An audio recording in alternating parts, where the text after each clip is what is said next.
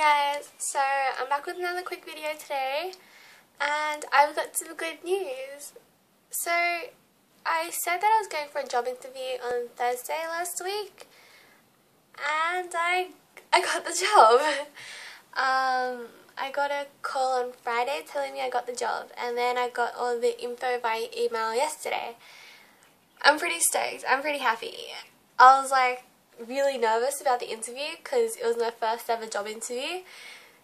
So yeah, I was even a bit late because the guy was talking to someone else before and I was like, oh, I'll walk around, they'll be fine. Except I was a bit late because I walked around. Oh, so nerve wracking.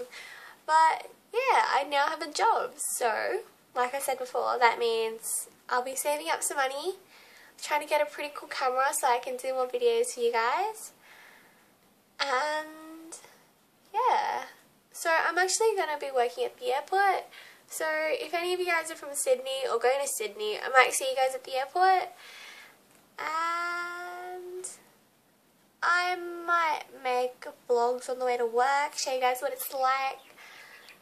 And yeah, I'm just really happy I have a job at the moment. So I'm looking forward to working.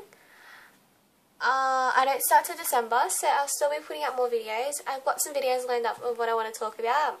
Um, pretty appropriate ones too. So, I'll talk to you guys later then.